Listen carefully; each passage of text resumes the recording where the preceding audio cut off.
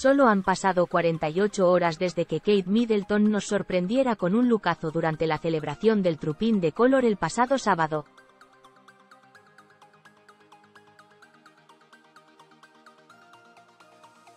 Durante esta celebración, la princesa de Gales estaba radiante con un abrigo vestido de color verde y botones tipo broche joya, que acompañó de una elegantísima Pamela.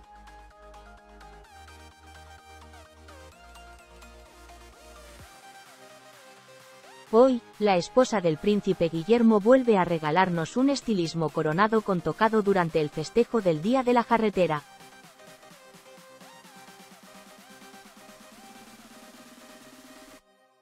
Curiosamente, su elección en blanco y negro tiene doble conexión royal, pues conecta con elecciones que llevaron la reina Leticia y también con su suegra, Diana.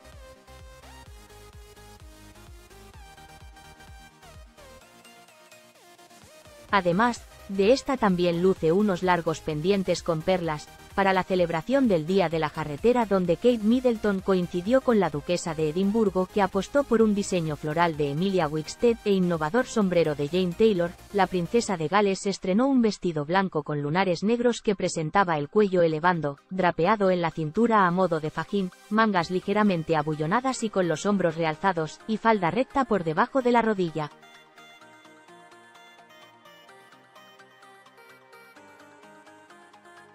Una fabulosa creación que pertenece a la firma Alessandra Rich, 1200 euros. De esta firma, también son sus slingbacks blancos con puntera negra en contraste, correa sobre el empeine y alto tacón, modelo Fab 105, 680 euros.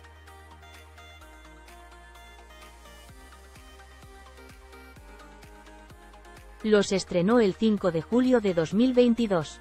Otro complemento que ha querido llevar es un nuevo bolso color vainilla, modelo Multris de Stradberry, 345 euros.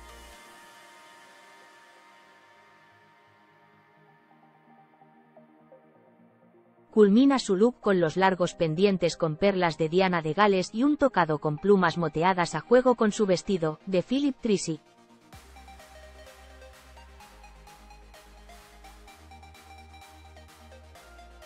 Sin duda, ver un vestido de lunares es recordar a Diana de Gales y más si el diseño es casi igual al visto hoy en el Día de la Jarretera.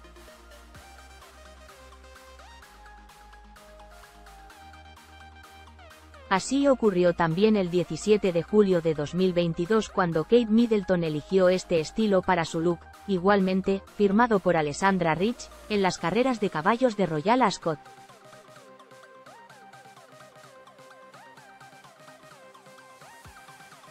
Curiosamente, su suegra lució un diseño muy similar obra de Víctor Edelstein para acudir a esta competición ecuestre en 1988.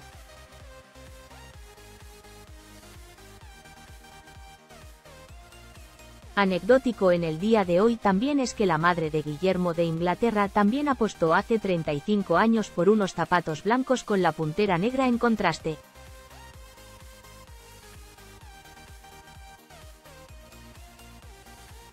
Si por el color, estilo y patrón, el nuevo vestido de lunares de Kate Middleton recuerda a Diana de Gales.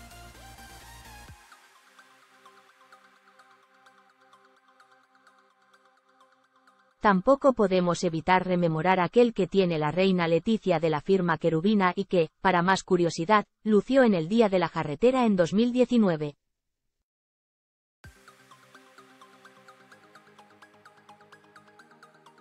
El de la esposa del rey Felipe VI también tiene cuello elevado, fajín marcando la cintura, mangas abullonadas y con hombros realzados, y falda por debajo de la rodilla.